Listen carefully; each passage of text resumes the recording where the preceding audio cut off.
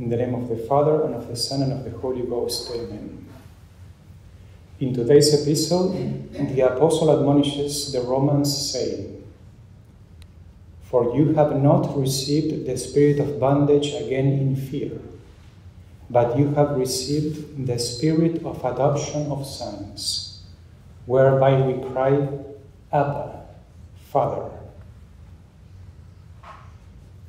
This spirit of adoption of which St. Paul speak, speaks is found perfectly in those who are living members of the Church. That is to say, in those who are supernaturally united to God, not only by faith, but also by sanctifying grace. It is indeed sanctifying grace to use the words of the Apostle St. John, it is by it that, quote, the Father hath bestowed upon us that we should be called and should be the sons of God. It is this habitual grace which allows us to address God not merely as Lord or Creator or Master, but as Father.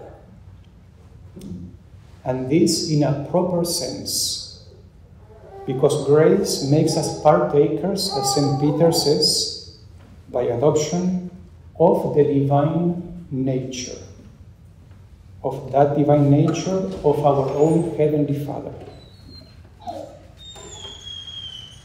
Jesus Christ, our head, is the natural Son of the Father with whom he has the very same nature and substance as we will confess just in a minute in the Creed. We, on the other hand, are sons of the Father by adoption. Now, through this adoption, we have, in the sense explained, the same Father as Jesus Christ. And therefore, St. Paul says that Christ is, quote, the firstborn among, amongst many brethren, and, quote, that he is not ashamed to call us, to call us brethren. now, besides that, in the state, in every soul in the state of grace, indwells the Holy Ghost Himself, who endows this soul with His seven gifts.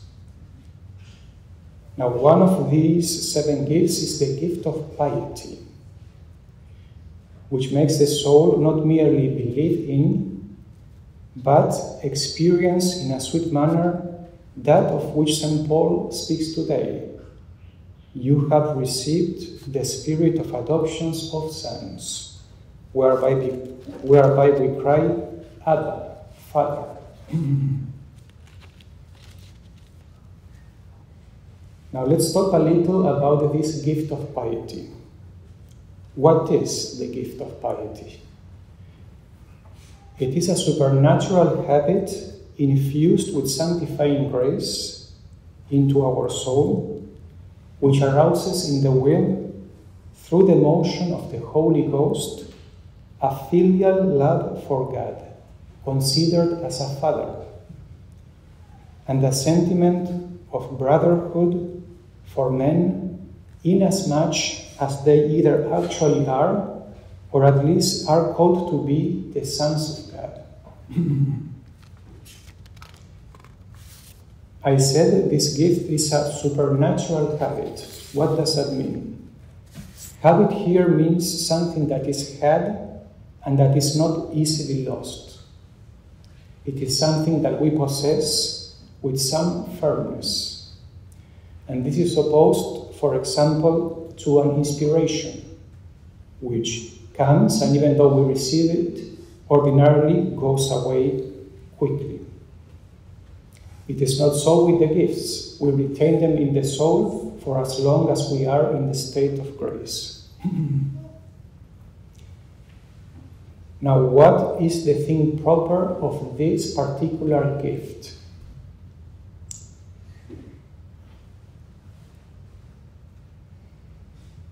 This is the gift by which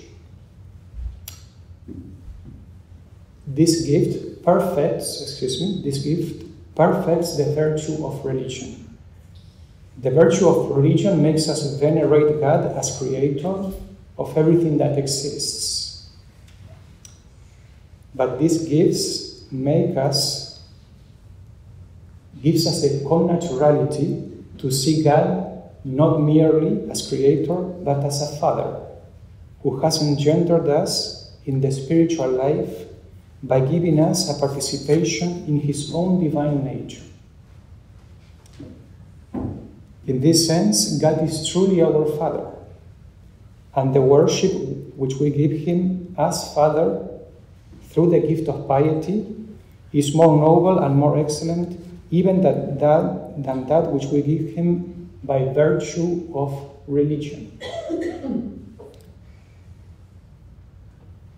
now, this gift of piety perfects all the virtues related to justice, but especially, as I just said, religion and piety, the virtue of piety.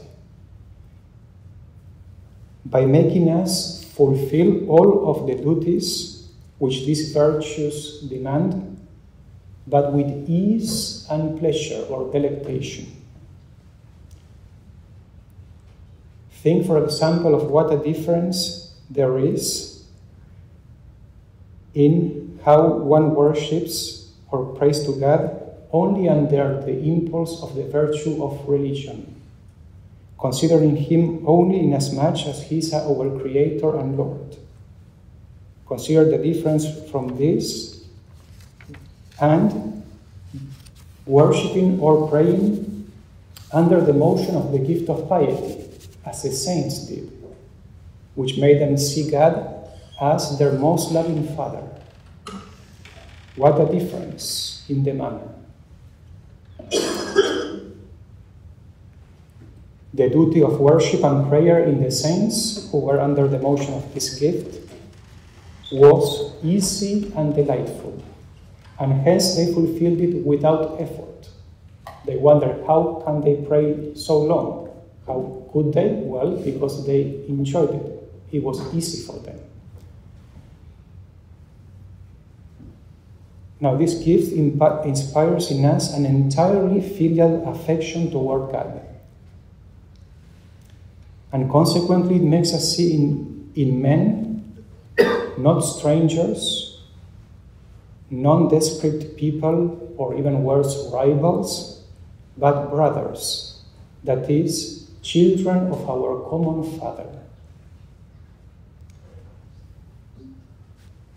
The gift of piety makes us say more profoundly, more deeply, both for ourselves and for others, Our Father who art in heaven, hallowed be thy name, thy kingdom come, etc.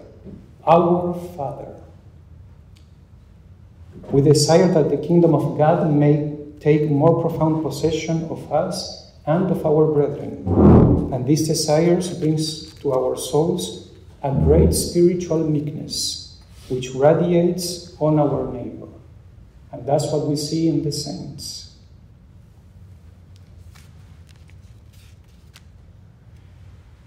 There are other effects of this gift.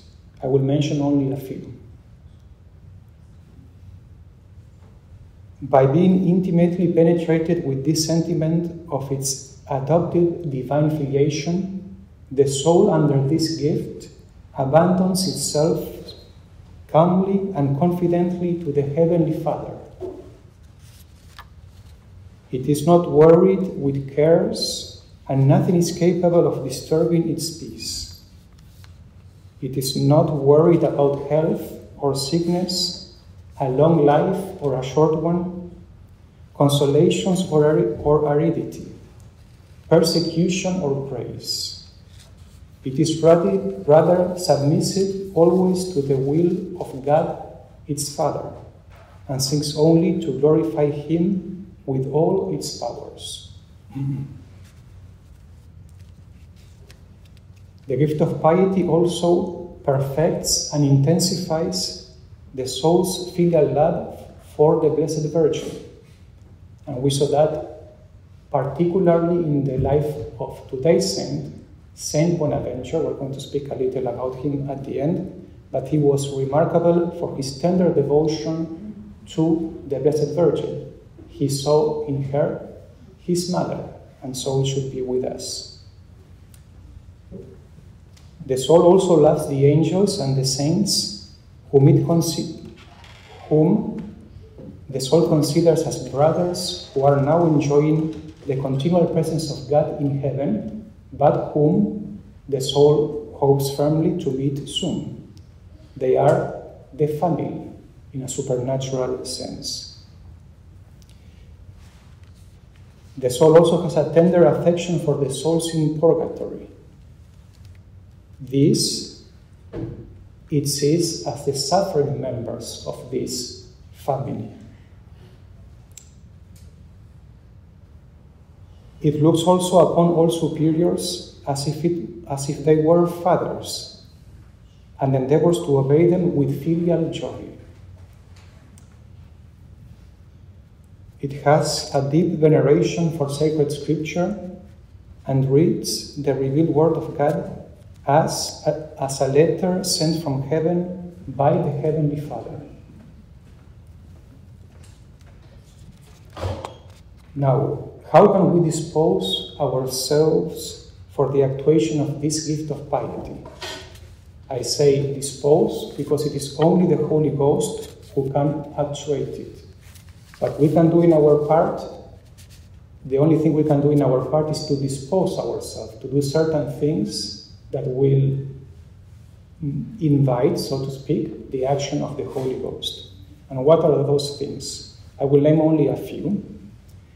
The first is to cultivate the spirit of adopted sons of God, of which we just spoke.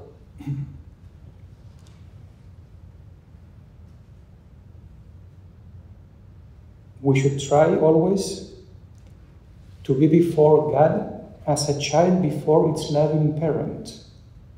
We should constantly beg for the spirit of adoption, and we should endeavor to do all things for the love of God not merely for fear or for the reward or for the punishment, to avoid the punishment, but for love, for love for our Father. The second is to cultivate the spirit of fraternal charity. We saw how this is a secondary effect of this gift. And therefore, we should make an effort to treat our neighbors as true brothers in God. If we do so, we will attract the gaze of God, our Heavenly Father, since He is delighted to see that we try to cultivate unity in His Son and for His love. Remember, our Lord Himself said that we should be known to be His disciples by the love which we bear one another. Now, a third thing to cultivate the spirit of complete abandonment to God. If God is our Heavenly Father and our loving Father, then why should not we trust Him if we know He is omnipotent? He is omnipotent, He is infinitely good, and He loves and cares for us. Therefore, we should have trust in His providence. We should not worry about things. We should do all we can, which is usually very little, but is in our hand, almost nothing. We should do the little we can, and the great things we cannot, which are most of them, we leave to God our Father. He will take care of us, as the Psalm says. To conclude, today we celebrate Saint Bonaventure. He was a great saint and he had all the virtues to an eminent degree. But providentially, he was very remarkable in a special manner for his extraordinary piety. He is in fact called the seraphic doctor. Why? Because his writings are full of the unction of piety. One reads them and one can tell, like a perfume that comes, something supernatural, one can tell from the unction the love of God that must have burned in his heart. Um, and that's why it is called seraphic, because the seraphim, which are the highest choir, choir of angels, are the ones that love the God most ardently. So, how did our saint attain to this admirable spirit of piety which we seek? How can we obtain a share of it and preserve it? Let us hear the Holy Doctor himself, and with that we will conclude. He writes Christ, Christ's death on the cross should live in our thoughts and imagination for frequent thought on the Passion of Christ keeps aflame and brings to intense heat the fires of earnest piety. we must picture to the eyes of our heart Christ dying on the cross, if we would prevent the fires of devotion within us burning themselves out. A pertinent quotation Burst this out. Quote, The fire on my altar, said the Lord in Leviticus, shall always burn, and the priest shall feed it, putting wood on it every day. It's Leviticus chapter 6. The saint continues, Let me explain. The altar of God is your heart. On the altar of your heart, the fire of intense heat must burn constantly.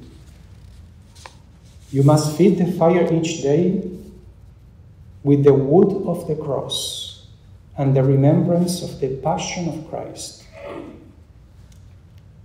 Isaiah the prophet, continues the doctor, preaches a similar truth. Quote, you shall draw waters with joy out of the Saviour's fountains. In other words, if the grace of tears, the tears of thanksgiving, the tears of fervent piety are sought, such tears must be drawn from the Saviour's fountains, that is, from the five, five wounds of Christ. Let us ask the Holy Doctor, Saint Bonaventure, to intercede for us today and obtain for us from God by his merits to be truly imbued with the spirit of adoption and of piety, so that we can obtain from God his special love and protection in this life and to be joint co heirs, joint or co heirs with Christ hereafter. Amen. In the name of the Father, and of the Son, and of the Holy Ghost. Amen.